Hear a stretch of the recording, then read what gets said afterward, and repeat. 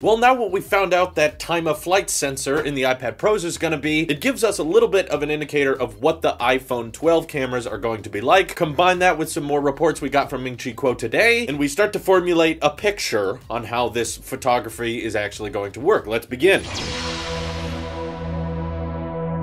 So it sounds like there might actually be a little bit of exclusivity when it comes to features and specs to that Pro Max model. So the 6.7 inch iPhone might be getting a few things that the 6.1 inch iPhone 12 Pro will not be getting, which may upset some of you, but I'm fine with it because I know I'm getting the biggest display possible no matter what. I like big iPhones. I don't need the 6.1 inch to be more comfortable in the hand. I just, I want the huge display, okay? I will always take that first. And Kuo was saying that there's some type of image sensor shift stabilization technology, which takes away that optical image stabilization that we currently have in our lenses and instead pushes it back to the sensor itself, which should allow for image stabilization to be possible with the ultra-wide lens, which is kind of a missed opportunity in my mind. I thought it would have been really, really cool if Apple was the first smartphone with a triple camera setup to have optical image stabilization on each individual lens. Now, ultra-wide obviously doesn't really need it that much because when you're zoomed out so drastically, you don't really shake the camera as much, but I just just think for the sake of consistency and trying to make these lenses behave like one, that was kind of the whole message Apple was delivering at the iPhone 11 event, is they were like, even though there's multiple lenses, you know, they're color calibrated and they're supposed to kind of just behave like they're one lens on the back. Having sensor stabilization across the whole thing should result in the experience feeling even more so like it's just one lens on the back and not three that you're alternating between, which so many Android phones with lots of lenses on the back sadly kind of give off that experience experience because one lens will look drastically different than the regular lens, and I think Apple just wants to meet that with consistency. And this also goes along with previous reports we got from Kuo that the 12 Pro models would be featuring larger sensor sizes overall, so that may result in a megapixel increase, but given we saw how the Galaxy S20 handled a 108 megapixel sensor, I'm okay if they don't go too crazy with it. You know, there was that one report suggesting that it's gonna have a 64 megapixel sensor on the back, but uh, if that comes at a cost of, you know, what can stay in focus and low light performance, that's okay, Apple. You know, you can settle with 12 or 16 megapixels is fine as long as they're good megapixels and not 108 bad megapixels, okay? We don't need that. But later this week, actually, I'll be unboxing the new iPad Pro with its LiDAR sensor, and it's very bizarre because Apple usually doesn't add something this major to a product just for the sake of improving something a little bit, and that's what it feels like right now. So the LiDAR sensor supposedly helps with augmented reality, but I've done those AR kit demos on my phone and iPad, and even with one lens, it can do pretty fine. It can do all right. I'll definitely do some side-by-sides to notice the difference, but because we know how Apple handles the design to where it's kind of blacked out on the back and you don't see the LiDAR lens itself, it's just kind of a black dot, that led to a lot of conceptors out there designing what they think the iPhone 12 Pro back is going to look like this year. And it makes things a little bit weird because the main reason we thought Apple decided to make the triple camera on the 11 Pro look the way it did was so that all all the lenses were equal distance from each other. And throwing in this LiDAR sensor, which has been rumored on the iPhone 12 Pro series, has people wondering, like, how do you accommodate that LiDAR sensor and still keep the three cameras equal distance from each other? My guess is they probably can't, and they're just to try to keep them as close as they can. So that's why I believe a lot of these reports of, you know, the three lenses alongside a LiDAR sensor in one corner. That way it can stay in the same consistent camera module we have on the back right now of just being a simple square in the top left corner. But who knows?